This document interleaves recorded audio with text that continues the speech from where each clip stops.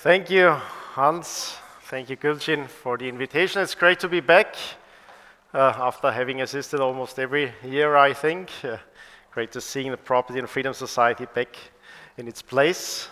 Uh, the title of my talk may seem like a truism to you schooling and state making, and uh, I guess almost every one of you would assume that, in particular, public schools are an instrument to coerce and indoctrinate our children into statism. Uh, if you are now slumbering off because you assume that I'll tell you only what you already know, then of course you don't know me well. Uh, I have some surprises for you, but don't be too afraid. Uh, after this little purgatory, uh, thanks uh, Karl Peter, of some complications and surprises, I think a stark truth will re-emerge ever more clearly at the end. Uh, I'll base my observations on the history, mainly the history of the German-speaking countries. It's the history I know best, and luckily for me, it's uh, the segment of history which is most important for the universal history of schooling and state making. And the reason for that is that, in particular, Prussia, but also absolutist Austria, uh, and even uh, some reform pedagogues in Switzerland had an outstanding influence uh, on uh, the international development, uh, even so far as uh, in the US schooling was copied from the Prussians and US representatives traveled Prussia, the same in France, and almost everywhere. This institution of public mass schooling really ha had gotten a lot of influence from the German histories.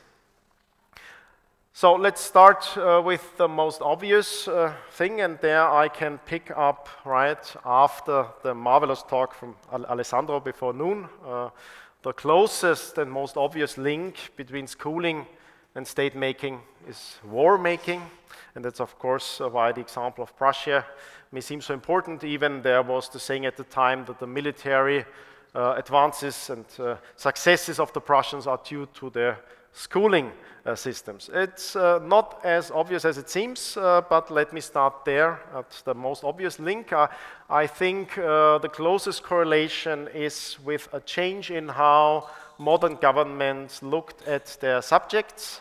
They realized that human beings are a resource for the state.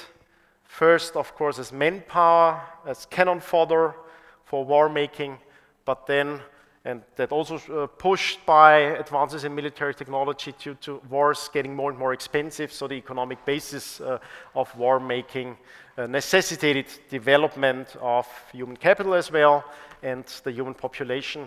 Uh, and uh, that insight seemed to be most obvious for the Prussians, uh, more enlightened rulers like Frederick II. so um, I think the link here is in conscription. It's you want to keep track of every citizen of your country. And that, of course, gives the sinister and I think real meaning to the line that you all know from the US potentially leaving no child behind. Leaving no child behind means keeping track of every single child because he is a potential conscript and a taxpayer, and you don't want to lose out on that human resource. Um, how do you use uh, education or schooling to this advantage? So on the one side is, is, you have the keeping track. On the other side, I think nationalism has to be considered a military technology as well. Uh, and it was a success story in military terms.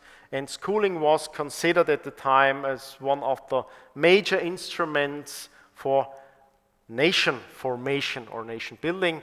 So when people talked about Nationalbildung, that's in German, very ambivalent meaning, very complicated term, the Bildung, which is education, but you could also translate it as nation building, nation formation, raising a nation, uh, or cultivating a nation. Uh, and uh, I, I, read from a very important text uh, from the time uh, to give you an idea of Fichte, the addresses to the German nation. Uh, Fichte, a German philosopher, wrote about schooling and the role or the relation between schooling and state making as follows. The state which introduced universally the national education proposed by us, from the moment that a new generation of youths had passed through it, would need no special army at all, but would have in them an army such as no age as yet has seen. In the heart of each individual, there lives love of the community of which he is a member, of the state and of his country, and this love destroys every other selfish impulse. The state can summon them and put them under arms when it will, and can be sure that no enemy will defeat them. Now, there it looks like a smoking gun, but there I have some surprise for you. Of course, Fichte was no government official and it was no government decree. And oddly enough, his addresses to the German nation were temporarily censored and prohibited by governments. Uh, and uh, the reason for that is that, of course, in nationalism, there's not only state making, but there's a cultural process as well. And I think it's quite important to differentiate between the two.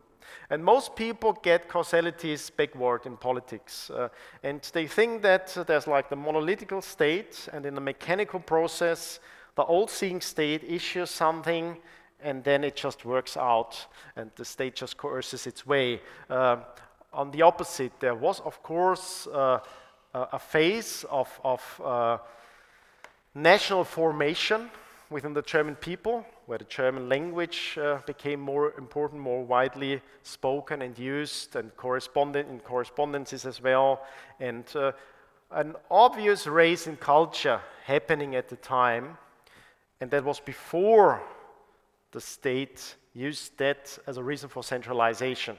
Uh, so most people assume that it's the state first centralizing and using nationalism to its advantages, but uh, I think they are interlinked and, and uh, uh correlated developments at the same time. And uh, I think there's quite an analogy to what Tim was talking about. Unfortunately, I, I, missed your talk, but I followed the very interesting panel discussion about Japan. Um, and of course, the Japans are considered the Prussians of Asia. Uh, and there you see at the same time this question of polite society is a kind of raising a cultural level within a society. And it leads to this ambivalence as well. And this ambivalence was addressed, I think, by Thomas by asking how can a population which in the individual is so cultivated and so polite be so atrocious uh, as an occupying force? And the same, of course, could be said of the Prussians. And it was Goethe famously who observed uh, that he feels great pain when he thinks about the German nation. So achtbar im Einzelnen, so miserabel im Ganzen. I think it's a great line. It still applies to the Germans today. Uh, they are so respectable in the individual and so deplorable as a collective. Uh, and uh, of course, there are quite a few misunderstandings here in Fichte as well. He thinks that society and the state are more or less the same. But you could read Fichte and other idealist philosophers of the time of national awakening as people thinking about raising the cultural level of the population. And thus you could read it in a sense of a spirit of self government, of responsible people who form a militia. That's one possible interpretation of people more equal before the law, not being, not necessitating an absolutist ruler, because in themselves they have the moral law and they apply it, and together they're capable of being a grand nation. And I think that's one of the reasons why, of course, the story isn't as easy as it seems, that it wasn't just nationalism imposed from above, but it was an uneasy relationship. And the same uneasy relationship uh, we see uh, with schooling. Uh, but still, uh, Fichte realizes something as a progressive and enlightened mind uh, that uh, coercion and the state apparatus does not depend so much on physical coercion and force but a lot of it is mental games or mind games. Uh, and uh, I think that's a crucial insight from praxeology, uh, which I would apply to questions of coercion as well. I, I was supposed to talk about the praxeology of coercion, so I'll give you a little summary, a teaser of what you may have missed. Uh, we're talking about that. Uh, I think when we consider coercion, of course, we can't just apply the mechanical cause-effect uh, relations and think that they are all important. most important are mental states, is anticipation and the cause-effect relations in our mind and, and uh, the actions uh, of other people. So the state, of course, depends mostly on coercion not being necessary because it's based on fear, so threats, not all, all, of those threats are backed, and it's compliance. Uh, it's, uh, of course, changing the mindset of the population. Uh, and that has been understood, and I think it was one of the uh, outcomings of enlightenment, of people with a critical state of mind thinking about government. Not all good people, unfortunately, and uh, uh, I think a lot of the evil in government, of course, was stirred on by enlightened thinkers. Um, by realizing some very dark truths about uh, mastering government. Uh, and it's, of course, the Machiavellian tradition, uh, but that uh, lived on in a bit different spirit, more unconsciously in, in, in, the French and German traditions as well. And I think one line um, um, I, I have to cite to you, uh, which uh, puts it uh, to the point most clearly, and that's by Francois Guizot. Guizot was the French Minister of Education. He was an enlightened, liberal spirit, considered as such, but he was the main force in instituting government mass schooling in France, of course, following the example of Prussia. So he sent his friend and employee, Victor Guizot, to Prussia to travel there and figure out how they are doing it. Uh, and uh, he wrote to him uh, uh, the reason why, why that's important, why he has to go there. And the line says, the greatest problem of modern societies is the governance of minds. It's the governance of minds. Uh, and I think that's a crucial insight here. Uh, and that's why, of course, there was a lot of back and forth about schooling, but it was an uneasy relation. The first insight about why schooling would be necessary or what a function schooling could have because of course there was schooling before uh, the state took an active interest in schooling uh, and the first insight by more progressively more enlightened governors like frederick the great was that schooling could be a device to increase the homogeneity of the population. And for Prussia, there was uh, particular importance due to the Polish uh, regions that uh, they occupied or were, became part of Prussia. Uh, so it was considered as an instrument to homogenize the population. But not only in, in the linguistic aspects and the cultural aspects, uh, more importantly, uh, Frederick the Great realized that he had to fill a gap that was left over by the receding importance of religion. Uh, and he really worried a lot about that vacuum potentially being left. He himself was an atheist. Uh, uh, potentially homosexual uh, as well, uh, very modern spirit, modern mind, but troubled by uh, the problems he saw on, on, going from an old agrarian society to a more modernized, industrialized society. Uh, and uh, so sometimes, I mean, of course, you could cite Frederick the Great as being an enthusiastic about schooling achieving that purpose, but I think if you read more from him, you realize that on average he was much more skeptical about it. So uh, I think uh, mostly he doubted that schooling would achieve that, and he thought that schooling uh, actually could be dangerous. And it could reduce the lack of homogeneity because of course it wasn't obvious what could replace religion as the controlling institutions. Of course the state potentially but the state was lacking the homogeneity that it wanted to impose. Uh, so it's a kind of vicious circle here. And it wasn't obvious to uh, Frederick uh, the Great and it wasn't obvious to governments uh, since then. So there was a very interesting back and forth with um, over time I think the more important forces in government tended to be reactive reactionary. That means they wanted to avoid increasing schooling, wanted to roll it back in a way, uh, wanted to limit the subjects that, that, that are schooled uh, and control it. Most importantly, control what is schooled, but uh, not really expand it as such. And if it's expanded, keep it separate between the different classes of society. So not to endanger the kind of equilibrium uh, of society and uh, uh, certainly not at advance, progressive, and revolutionary thought, as potentially Fichte uh, was a member of that class, not that easily controllable, these enthusiastic, nationalistic forces, which are not that easy to control from uh, a government uh, point of view.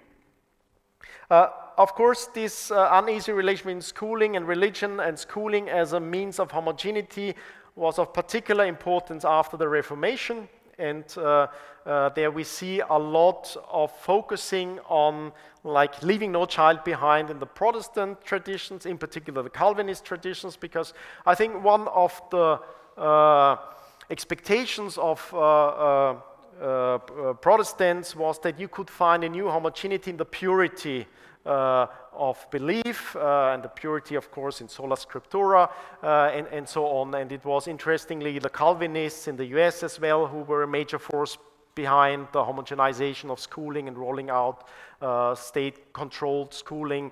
Um, and uh, with Luther already we, we have a line where he writes or he warns that missing out a single child, leaving behind one single child is morally equivalent to raping a virgin.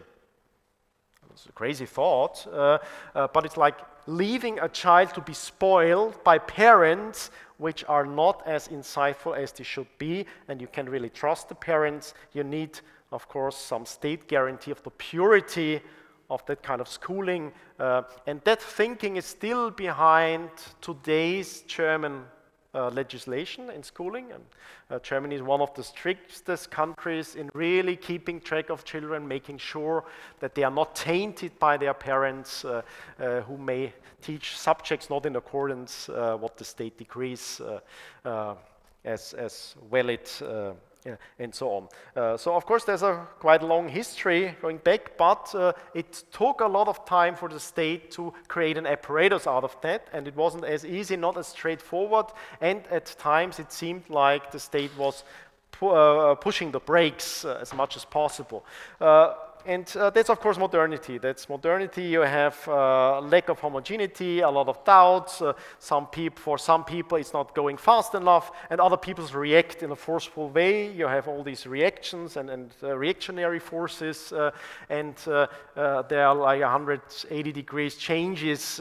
even if you have a, a monarchic government uh, with the succession, you can have a total change in outlook, uh, and with advisors, ministers changes, you can have changes in outlook. And they changed in Prussia. So at times, Prussia was really progressive in education. What does that mean? They followed examples of the best teachers.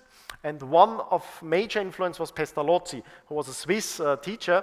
Uh, and uh, I think uh, people like Pestalozzi and Humboldt, uh, of course, reflect some of the positive things of that uh, feeling of worrying about schooling, worrying because there it's really a worry about the development and the cultivation of the child. And I think there's something sincere behind that in, in, in really understanding that there's childhood because before that it wasn't seen as really separation between adult life and childhood. So coming from parts of the nobility, but in particular of the, the burghers uh, in the cities uh, came this reflection of a, a, phase of child development where you should protect the child and enable it to become a fully developed personality. Um, and so I think there's some good in that, but it's very interesting that Prussian state officials uh, uh in charge of one of the most imposing coercive apparatuses of the time had no better idea how to create an apparatus of schooling than sending government employees to learn under Pestalozzi. So Pestalozzi had a private institute in Switzerland, and the Prussian government begged him to take up some government officials and they would pay handsomely for them and so he got he took at most two or three people at the same time and he charged uh, the government and they would be allowed to learn under him for two to three years and then of course they should start new seminaries for the formation of more uh, teachers. Because there we see, and that I find very interesting, and of course you can have all this grandiose thinking about the government and, and the state, and you forget that it's people, uh, and you need actual people to do the stuff. Uh, and uh, so you have all these grandiose addresses to the nation, and decrees, uh, and plans, and they don't really work out. Because if you look at the teachers on the ground, you figure out, okay, most are really not functional, because you have to figure out who are teachers. Uh, I mean, how are they selected? How does someone happen to be a teacher? Uh, and there we need to look back what was the state of schooling before state schooling. Uh, so I tell you a little bit about that. Of course, there were schools, and most schools, as you can imagine, were church schools, but it's more of the, uh, the, the, the, the, local church organization. Uh, and I think it had a very practical uh, thing. It was just uh, controlling or childcare, more or less. Uh, uh, so you needed one person to look after the children, to of course bring them up a little bit in the Christian culture, have them read the Bible, um, uh, and so on. But it was considered a fairly low-ranking task. So the teachers in this church controlled education were usually on the social ladder the downmost people. They were working on the side of sacristan, so they were helping uh, the priest uh, with the menial stuff that, that you need uh, for service. And uh, of course, I think the reason for that is in an agrarian society, in the villages, uh, who's taking care of the kids? The person you don't need because he's not that useful elsewhere. I mean, because otherwise you need every hand, you need every working hand, you need every mind capable, uh, because just a lot of work in our climate uh, uh, to live on the basis of the land. There's a lot of occupation. So usually you only had school in winter, and then it was uh, lowly uh, people with very low pay. So that's what you find when you start out uh, looking, trying to control teachers. they found that they are not the most literate, uh, not the, most advanced people, but they are just keeping or doing a job, and the most important job seems to be childcare. And I think that has remained true until today. I think most parents still have grandiose ideas or thinking of school. I think mostly school has the function of taking care of your children while you're working uh, so they, they don't uh, disturb you in particular if you have a pandemic then most parents realized oh my god schools are closed. I have to work at home. How terrible. I'm so grateful for the state to have a school running usually and now i see how important schooling is uh, uh because really it's a fancy word for childcare. Um, Apart from that rural tradition, of course, we had the uh, city uh, school, and there is very little literature, so it's um, we don't see that, but that was really an extensive part of schooling. And uh, if you remember, I think maybe it's 10 years ago or something like that, I talked about the history of universities, and I talked about the prehistory of state before state-controlled universities. And there's a similar picture here. Uh, it's just demand by parents, and usually very practical demands, and they send their children to Winkelschulen, Uh, corner schools. And uh, of course, the term corner schools implies that, oh, they are terribly uncontrolled institutions. Uh, you see a lot of correspondence between government officials that, like, oh my God, everyone can open such a corner school. How terrible. I mean, everyone who sees fit and who finds customers is allowed to open such a corner school. That's terrible. Um, there are some numbers, I could find some numbers, and they showed that the number is surprisingly high. So there was quite an extensive network of schooling before state controlled and state-imposed schools, uh, but uh, very little oversight. That's why there's very little literature, uh, because of course the state who has conscription, who's keeping track, everyone wasn't keeping track of those schools, and that was the main reason why, wanted, why the state wanted to shut them down, of course, because he wasn't keeping track of what's happening there. So there's an extensive network of more practical oriented, more utilitarian, I'd say, schools in the cities, uh, for the needs of merchants and, and uh, uh, other employees uh, and so on. And then the third segment where really state uh, schooling has its main founding is the formation of the military and, and uh, military education. So the Prussians sometimes say the army is the school of the nation and things like that. And they even had uh, veterans, uh, wounded veterans teach in schools because it's really hard to come up with all the employees uh, for that mass schooling that you intended for, but you have to train the people, you have to figure out how to train them, uh, and uh, uh, you couldn't really find them because you have decided before that what was schooling before isn't really according to your needs, so you can't really take the people from the corner schools and you try to build up something new and replace the church as uh, the main institution keeping track of that. Now I'll give you something more surprising. There, something maybe more surprising. There is, I think, one good argument for state schooling, uh, and uh, I'll try to refute it in a way. But still, I think it has to be taken seriously, and I think it was uh, the most convincing way to put it was done by someone who gave a lecture here many, many years ago, uh, Heiner Rindermann, who is a German psychologist. Uh, And uh, he, uh, his hypothesis is that this kind of schooling, uh, in particular how it was then instituted by, by the state, but of course taking over from the church tradition, raised IQ points by three IQ points every year of this kind of formal schooling, uh, even if it is repetitive schooling, rote learning as it is. Uh, of course, there's a correlation between memorizing and IQ, intellectual analytical capabilities.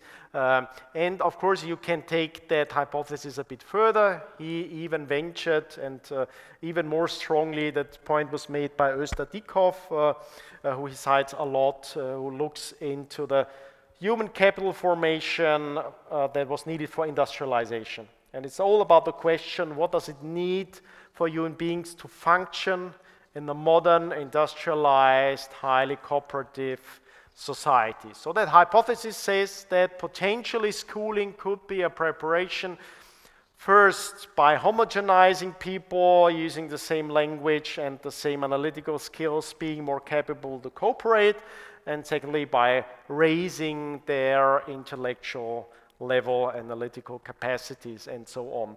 And again, I can't, I can't entirely refute it. Uh, it's really hard to tell. It's about alternative history. We don't know what was crowded out by the state schooling. We don't know the alternative history that could have developed. I have my doubts about this hypothesis, and I think I have some ideas uh, where that could be mistaken. Again, I assume that the causality is backward again, uh, because then you see with literacy numbers, in particular in Great Britain, for example, which should be, I mean, the, the main, if really it goes from literacy schooling to industrialization, then Great Britain should be first. But actually, literacy rates were lower in Great Britain than, than in Prussia, uh, even though they are industrialized first, and they preceded schooling a lot. So schooling was, uh, or compulsory, compulsory schooling was instituted fairly late in Great Britain when already almost universal literacy was achieved. Uh, uh, so I think that the causality is backward, that you have a modern society with higher literacy. Of course, Reformation was a process going hand in hand with higher literacy as well. So a lot of developments that started much earlier than effective compulsory government schooling. Because, of course, you have the ideas of uh, government schooling, but making it effective, like leaving no child behind as it works out in Germany today, that takes uh, uh, decades or even a century because you need all that staff and then still it doesn't work out the way you assume it uh, to work out. Uh, and then, of course, uh, if schooling would be behind the, the, the, Flynn effect, that's, that's the name for, for the raising of IQ numbers over time in Western nations that is observed, I think that uh, it's more likely that schooling acted as a eugenics uh, device, more or less, because for a time school leaving exams were, were the necessary uh, requirement to marry, to get marriage uh, in Prussia in particular. So, uh, and of course, you have discrimination against unschooled people, which hinders uh, their possibility to have flourishing careers and subs support families and so on. So I think there's some eugenic effect potentially there, uh, and um, of course a selective uh, effect uh, uh, uh as well. Uh, and the highest correlation between schooling results in testing, of which IQ is part of, is uh, social, socioeconomic status. Uh, so of course it works as a filter for socioeconomic status and enhances the possibilities for people of that according socioeconomic status who go for schooling to support families uh, uh, because they have better paying careers uh, uh and, and, so on. So I would suggest uh, uh, that as one potential explanation. And another one is that we know from the twin studies that most IQ effects of schooling are receding. that means after schooling, it doesn't take long and the IQ level goes down, which is not correlated with other factors like socioeconomic status and heritability, of course. Uh, uh, so I don't think it's such a long-lasting effect that could really accumulate over time. So I have my doubts, but it's really hard to refute it, and I think it's one of the best cases for this kind of mass schooling as it's happening. Uh, and I think most parents have that unconsciously or consciously that fear that if their children go, don't go to school, they'll miss out career-wise, income-wise, uh, and not be well enough prepared for careers in a modern society. And I think there are additional reasons uh, for that. Uh, uh, because mostly uh, that kind of schooling is about status games. Uh, and I think if you really look at the history of schooling, you see that a lot of it is status games played really well to the benefit of a certain group. Uh, and this group are the teachers, of course. Uh, so the history of schooling and state making is a history of the social rise of a class of people from the lowest level in society with lowest income to a fairly high status and bourgeois status in society. And not only, of course, this rise individually, but the number of people uh, in such employment has increased tremendously. Uh, so I think uh, one of the best ways to realistically analyze the history of schooling, as with other government institutions, is through the kind of class theory, which is not Marxist, but uh, Rothbard and Hans Hoppe in their writings have remembered us as a much longer and, and much more solid class theory, going back to the French, Dunoyer and Comte, uh, and looking at those who are benefiting uh, by the schemes uh, of the state and state mandated schooling and other things, of course, mandated by the state. So I think you can read a lot of that as using status games in a society which is uncertain because this homogeneity is lacking. Uh, so a lot of it is driven by private initiative uh, of parents uh, who are in a way abused in their status seeking by a class of teachers, legitimizing schooling as, of course, always shifting with the zeitgeist, uh, with the spirit of the time. Uh, that's why we have among the class of teachers uh, at first the most uh, or very high proportion of reactionary voices, uh, counter reformatory voices, and then it shifts to enthusiastic nationalistic voices. And then, of course, it explains to us why the highest number of Nazi voters in any segment was among teachers. Uh, uh, so it's not uh, the downtrodden, it's really a class of people who expect to benefit the most by statement that it control and leaving not a single child behind because, of course, every single child, as every poor person, is another reason for more money for your salary, your institution, uh, and so on. Uh, so I think that explains most. So it's not monolithically the state imposing it, but it's a lot of hijacking the legitimacy of the state for the interest of particular groups uh, of people. Uh, so that's why I doubt that school really is an instrument of indoctrination. And uh, let me tell you uh, about that a little more. Um, now, most people assume that in public school, of course, you have the teachers who are nowadays mostly uh, a very large proportion are in Germany are voting for the Greens uh, and the Social Democrats, and they seem to be very zeitgeist statists. But I say, okay, nothing new here. Uh, of course, they pick the most uh, well-working brand of statism at the time to get more money towards their class. Uh, so that alone suffices to, to explain the ideological tendencies. Uh, and uh, I think it's quite similar to what has happened in journalism. Uh, that uh, journalists and teachers have lived off an increased prestige for their institutions and making us all believe in the uh, importance of education and schooling.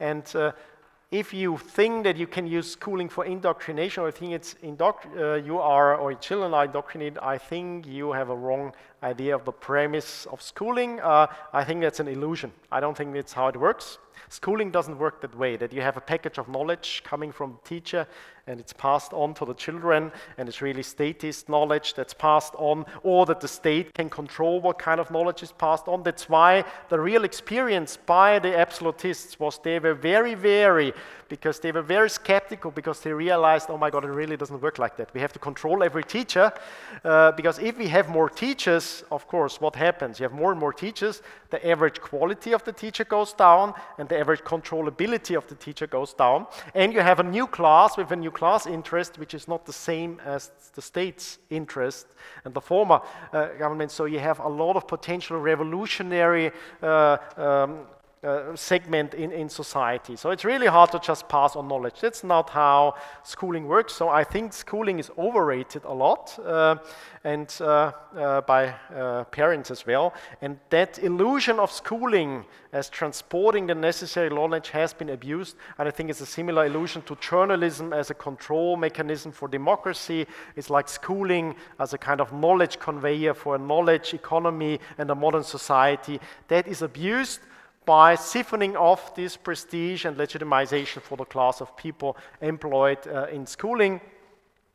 And so it's not really direct indoctrination, I think it's indoctrinability. That's a term by Eibl-Eibesfeldt, an Austrian ethnologist, uh, who thinks that uh, a certain kind of indoctrinability is useful for large societies. Uh, he's a bit of a statist here, uh, and uh, uh I think that unconsciously he was really behind it. And what uh, leads to this kind of indoctrinability?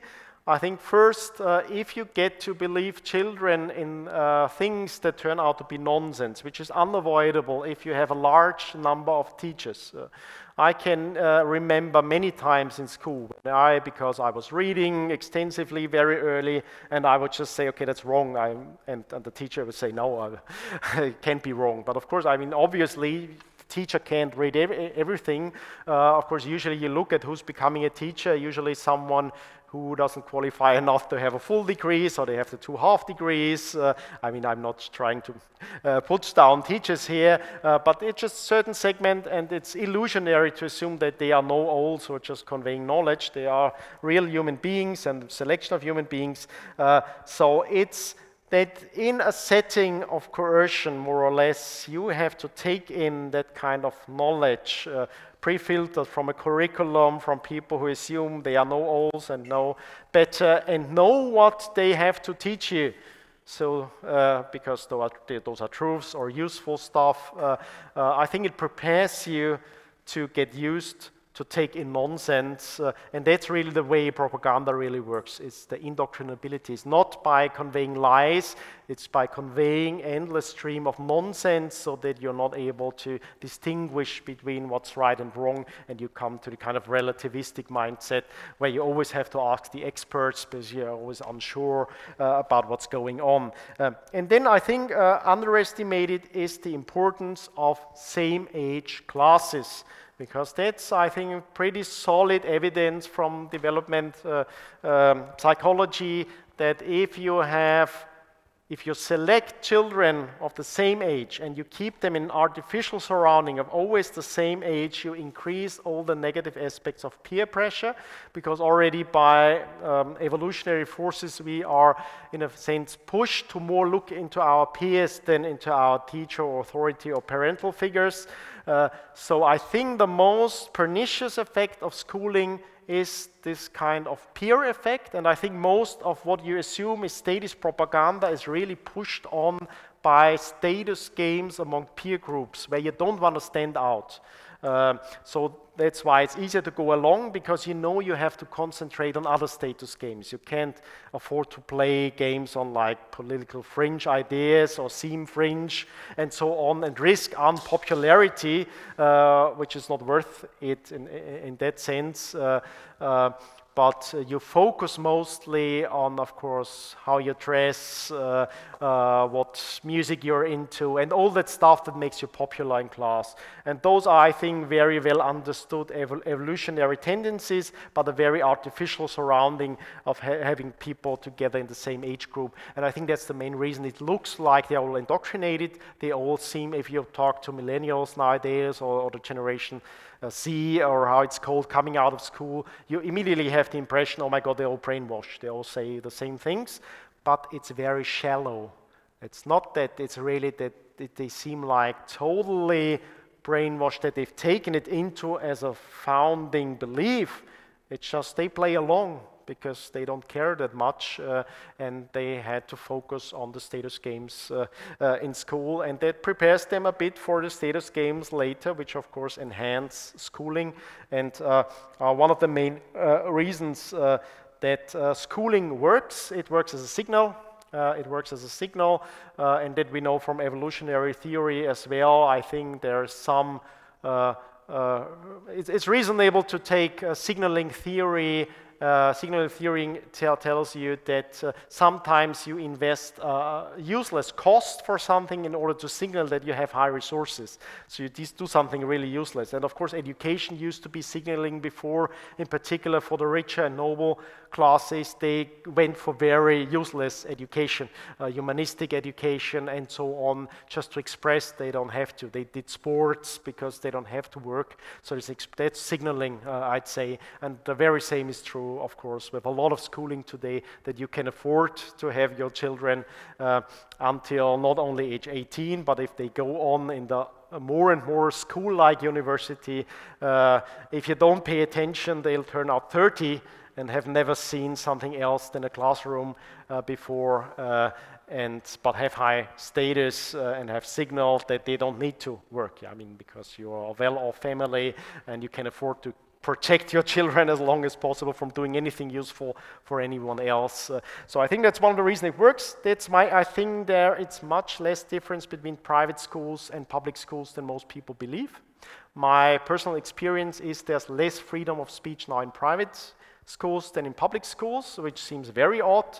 But one of the reasons is that government employees sometimes have, of course, much more secure contracts uh, than private employees, and still private schools are working in the same industry, which is a very distorted industry, and it's not about education, it's not about knowledge transfer. No one pays about for knowledge transfer per se in schooling, it's about signaling, uh, and of course, the highest payment goes for the brand, the highest brands of signaling um, uh, that you can pay for, that you can get, and uh, Part of that signal is our status games, which I think are inevitable. They're part of human nature, so I wouldn't like the uh, uh, very too, that's not so much you can change about that. I, I think what's crucial is uh, try not to interfere with better status games, in particular those concerning wealth. I think in a society where the status games based on um, wealth of your parents are not that possible, schooling becomes ever more important and then connections become more important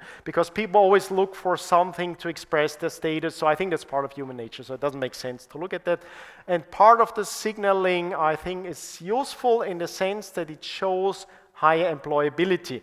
And the reason for that is if you have a child going for schooling, it's a child that's able to sit from 8 to 5 and later 9 to 5 in a setting where they don't always understand what's the meaning of it all, why is it useful, what is it for. A lot of it seems to be nonsense, but still I learned to function in such an environment, and that, of course, a corporate environment. And I think you can only understand why there's still so much private demand for schooling because uh, there is a distorted structure that Saifedean has been talking about uh, before, which he calls the fiat uh, world, more or less, that's really uh, a larger structure. And in particular, schooling is important if you go for careers in finance and corporate uh, careers, uh, and there is really a signal of your employability within those structures, which I think are distorted structures, and that's why I think we are seeing signs that the correlation, which is still there, so there's still an empirical correlation between higher incomes and, and more schooling. So of course it's not parents are not stupid to go for schooling, uh, even though it has all the problems I mentioned. So I think it's easy to understand why schooling still has this importance. I think it's hugely distorted, and I think we're in a phase of correction here because this correlation will go down. I think it's already starting to go down, and we see that with the correlation between university degrees and higher incomes, which is going down even more faster, and I think we'll see that with schooling. Uh, and I think that's also the reason uh, there um, why alternatives uh, empirically don't stand out in a very unexpected way. There's a lot of data in the US about the alternatives of homeschooling and unschooling even. So there are more and more families which don't do any schooling. They just basically say, okay, my kid does what he wants and or she wants, and if he wants to play all day video games, I'm fine with that. I don't believe in any kind of interference. And of course, you would expect, and I would expect as well, that it must show in results if you go for testing, in particular the testing for university admission. And the interesting thing is, they are doing better and it's worrying, so there is no empirical evidence whatsoever that schooling produces higher knowledge or capabilities. So if you really check the results, the success stories, What have you learned after all those years? You figure out, wow, it's receding fast, the curve, and it's reaching zero pretty soon. So you don't have a significant impact of schooling because, of course, the reason for schooling is not knowledge transmission, and it has never been, uh, I think, and, and uh, um, people used it as an illusion to uh, and I think a lot in the philosophy of education is a nice coating for that illusion. The Humboldts and the Fichtes and so on, uh, I think they were wrong, uh, uh, not in everything, but they were wrong in giving a nice sounding coating for something that just doesn't work that way because it's much too idealistic and of course all, they all failed. Uh, I mean there are many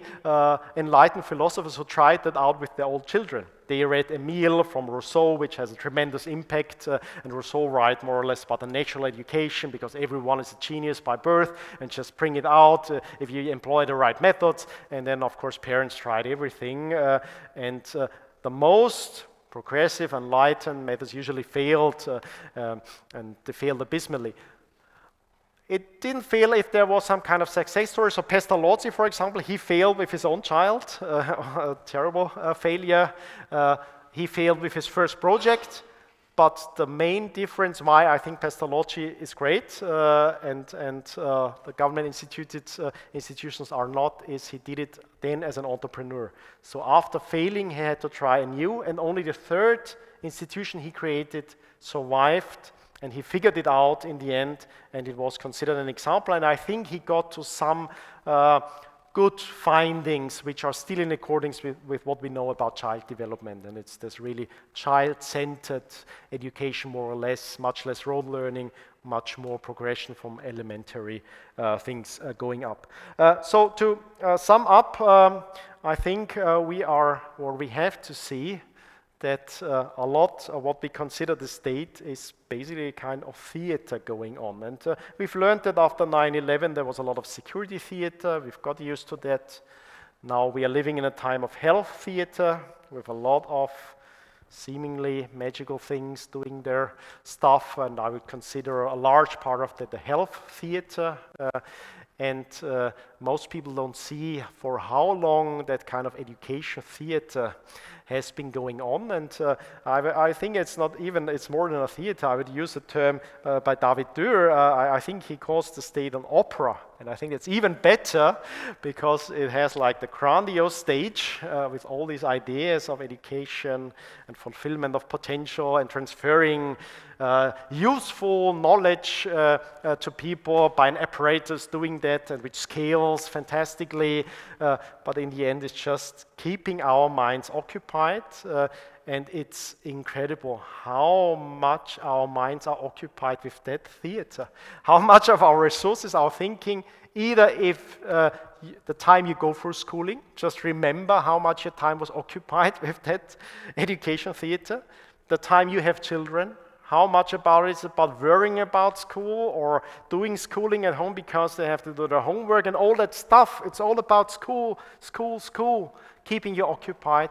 Or, of course, if you're working for that apparatus with a larger and larger number of people working for it, and they legitimize it because now it's a lot of them are women and uh, of course they are working full time so they can't take care of their children. So they need someone to take care of their children so they send him to school.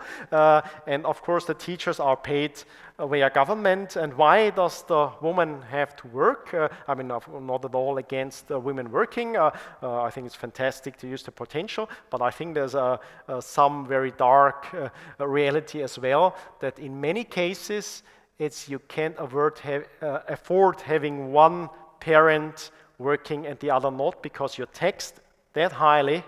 So to pay the other parent to work, to take care of other children because you can't take care of yourself. So I really invite you to look behind the stage of the big opera that is cooling and hopefully not be too well entertained by what's happening there, but still have a cheerful look uh, alternatives.